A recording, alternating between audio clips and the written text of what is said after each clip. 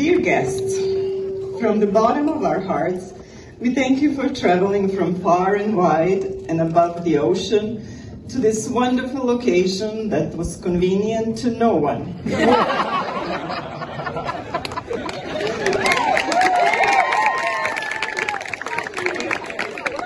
it's Natasha's and Bess's big day. They wanted it this way. And even though there will be many bills to pay, I know you'll all agree with me that it's been absolutely beautiful today. Natasha, to watch you grow from our little 2.7 kilos baby into this beautiful bride and young lady has filled us with so much joy. Seeing you happy and in love is everything parents would ask for.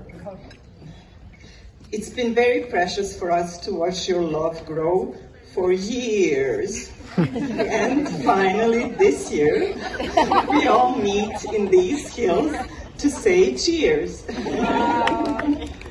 Regarding the speech, Google says don't drink too much before the speech.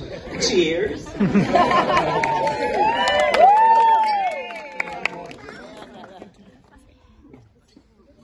Also, regarding the speech, Google says, don't embarrass your daughter. Well, when, if not today?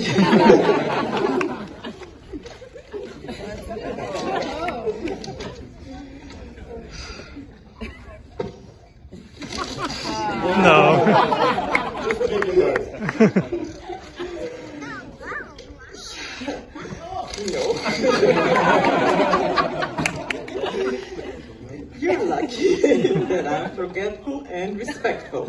Otherwise, this would have been eventful.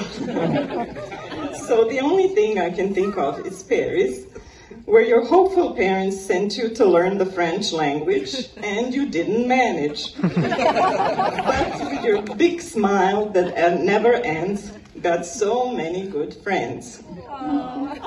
And though maybe one day you will master percentages and math, other than that, you are our fighter and lioness and amaze us with your achievements and being tireless. Natasha, you make our world brighter. Wherever you enter the room, this crazy world gets a bit better.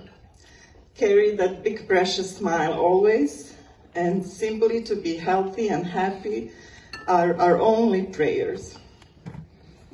Being in Canada, we are very lucky to have the in-laws like Mansaku. Dear Lume and Nilir, in our home, you're always welcome. And thank you for being Natasha's second home. Bessie, they raised you well into such an amazing man. For the proposal, you get mark 10. we couldn't have asked for Natasha to have a better man. So coming from the Balkans and our families having so much in common, we now want to raise this glass to your love and marriage, to lots of burek and baklava and cevapi and days spent on Albanian coast, and many happy occasions in Toronto, Tirana, and Beograd. Čestitam i živeli. Cheers.